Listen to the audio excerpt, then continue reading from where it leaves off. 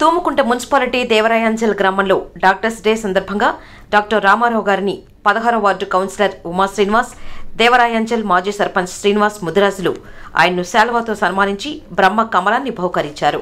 ఈ సందర్భంగా ఉమా శ్రీనివాస్ మాట్లాడుతూ కుక్క కాటుకు స్పెషలిస్ట్గా నలభై సంవత్సరాలుగా సేవలందిస్తున్నారని వీరి వద్దకు సుమారు యాభై గ్రామాల ప్రజలు వచ్చి చికిత్స చేయించుకుంటున్నారని పేదవారికి ఉచితంగా సేవలందించే మహానుభావుడు మన డాక్టర్ రామారావు సార్ అని కొనియాడారు. నిస్వార్థంతో సేవలందించే ఆయన్ను డాక్టర్స్ డే సందర్భంగా సన్మానించడం ఎంతో అదృష్టంగా భావిస్తున్నట్లు తెలిపారు. ఈ కార్యక్రమంలో గ్రామస్తులు తదితరులు పాల్గొన్నారు.